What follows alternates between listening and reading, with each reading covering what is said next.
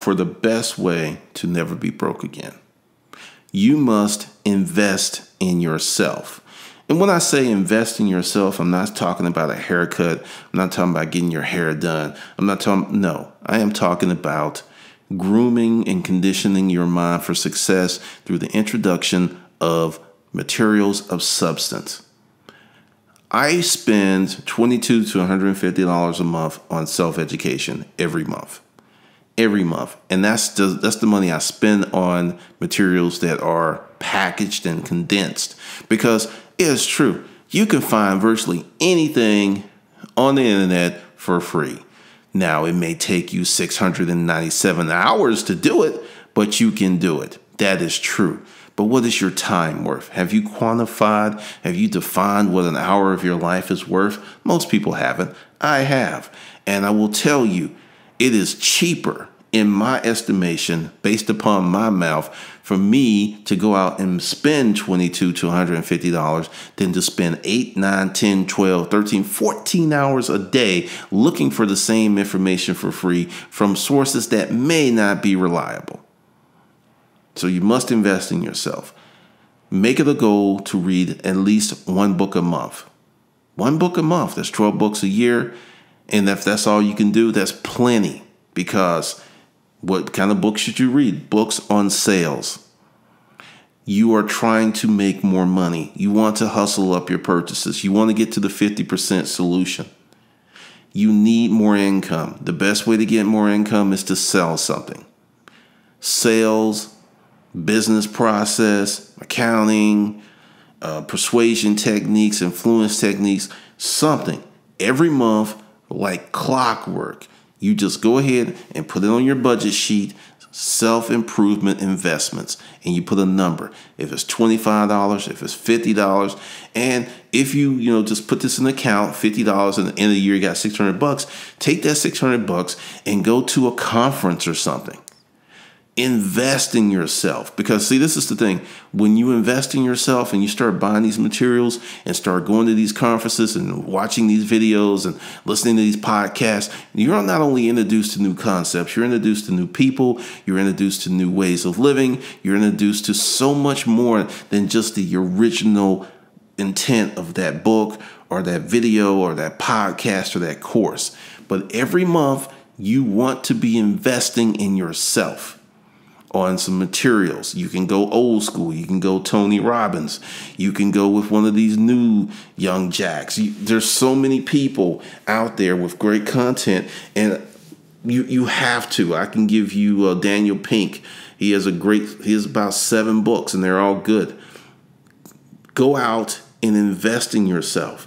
And another way of investing in yourself is to invest in your health. Join a health club if you need to. I understand people are doing insanity. They're doing these home exercises. Hey, no gym membership. Well, see, this is something else, and this is something I discovered since uh, I've got the Fitbit here. When you go out, because if you, I'll just give it to you, and I would recommend getting a Fitbit. I got the Surge; it was a present I'm really grateful for. But get yourself one because just like I tell you to track your money, to track your your expenses, to track your activities, the Fitbit tracks your activity. And because now I can look at it and it's like, oh, I understand why some days I was sluggish. I understand why some days I had more energy.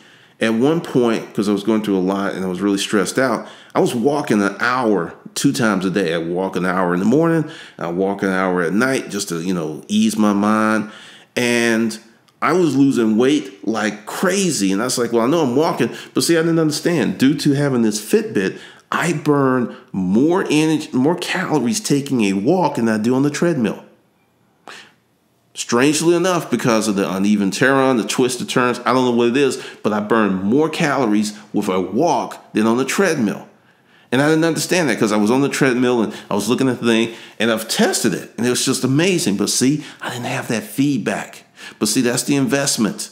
Invest in the Fitbit. Yes, I would go ahead and recommend it. Yes, invest in the Fitbit. Invest in a health membership. Invest in your health. Invest in better food. I mean, you know, once again, this is, you know, I may sound like I'm evangelizing, but you know, it was recently Halloween, and you know, we had trick or treaters come to the house, and ate some candy, and I felt like crap the next day because I overindulged. Because typically, I don't, I really cut back on a lot of that stuff. And when I do eat it, I feel it. And that's the difference between eating better food and not. There's certain restaurants I just will not go to anymore. Uh, it's, it's just amazing. So, once again, this is back with going out and investing in personal development, exposing yourself to new ideas and concepts. Now, what does this have to do with money? It has a lot to do with money because, see, there's some people who are doing the millionaire next door thing and they so broke down at 40 some, broke down, aches and pains, walking like an old person. Invest in your health because as you get money, and you see it. You've seen a lot of people here on YouTube, 80 years, 90 years old, 100 years old, mind is sharp. That's a goal to shoot for to be wealthy, healthy, and to live a long life where you still have control of all your faculties and you're still in good health. That's a wonderful goal to live for. So, as you invest in these materials, and like I said, start with audiobooks. Go ahead. And the first thing, if you don't know where to go, is say go to Audible and get yourself the two book deal. It's $22 a month. You get two audio, audio books per month. So if you do that, it's 24 books a year. I'm going to tell you something. If you get you an Audible subscription and you maintain it for two years and you listen to 48 books, you'll be one of the best educated people in your circle. You will be, probably after the first year, because many people do not continue to learn. I was getting into it on Facebook with someone I know in real life, and he made this statement that, well, if Glendon had, you know, formal education, he would probably, you know, he's had some success, but if he had formal education, he'd be doing better. Now, he didn't know how much money I made. So I actually sent him a screenshot, and he hadn't talked to me since. But the whole point that I'm saying is that many people, like this guy, think that going to college and getting that is the end what do they say when you graduate? It's a commencement speech because it's the beginning. And this is the thing I've never stopped learning. I cannot tell you how important that is. You know, I read stuff that, like right now, I'm listening to this book, and the guy is somewhat dry, but it's an audio book, and I've almost finished with my first path, pass of the book, and I'm going to listen to it two or three more times. You got to go ahead and invest in yourself, invest in what you want to do with your life, invest invest, invest. Spend money on creating your education because I know the internet is wonderful. The internet is awesome, and there's all of these amazing tools, and many of them can get you for nothing. And once again, it's not free, it's sweat equity. Because if you have to spend 10 hours, because this audio book that I'm listening to is six hours. So I listen to it three times, that's 18 hours. I listen to it four times, that's a day of my life listening to that audiobook. That is a cost. That's an opportunity cost. It's not free. And even if you did get the audiobook for free, once again, that opportunity cost does not go away.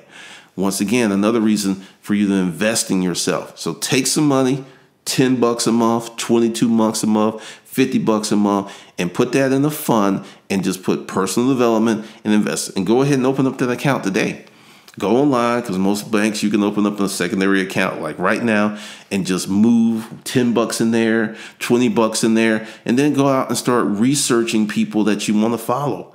Check them out listen to their podcast read their blogs you know get involved with this this process and you'll be amazed at at the end of one year how much different it will make, how different you will be, and how much you will grow. So that is it for how to never be broke again. These are some of the elements that I use, and it makes a huge difference because I've not been, you know, there's there's low on money and there's ass out broke. Ass out broke is when you got to borrow twenty dollars from someone to get some gas to get to work because you have absolutely no money nowhere. Ass out broke, and there are many people who are there. I've been there, and this I would be scared to be ass out broke today. Back then, it was just I was broke. But now that I have more education about how the world works, that is a scary place to be that you have absolutely no money. That's scary. One of the most expensive things you can do in the world is to be poor. Everything costs more. The time to get to work because you don't have a car and you ride in the bus, it takes more time. You don't have, manage your checking account. You're paying everything with money orders. You, you spend more time, more energy, and more money on everything because you don't have adequate income. Being poor is extremely expensive.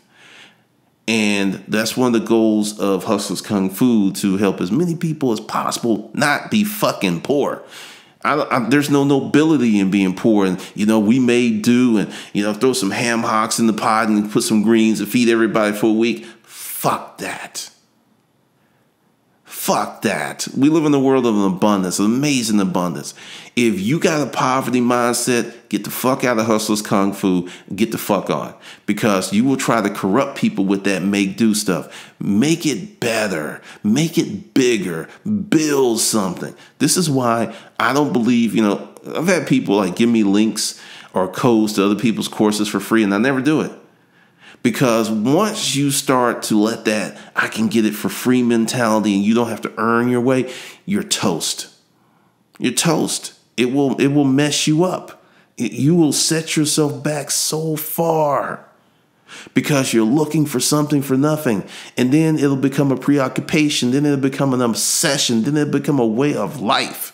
That's why you have generation after generation after generation of people doing the same pathologically dysfunctional things because it's become a way of life, a habit. So take heart and understand if you employ these principles and you take them to heart, you'll never be broke again. This is Glendon, and I will see you in the next session.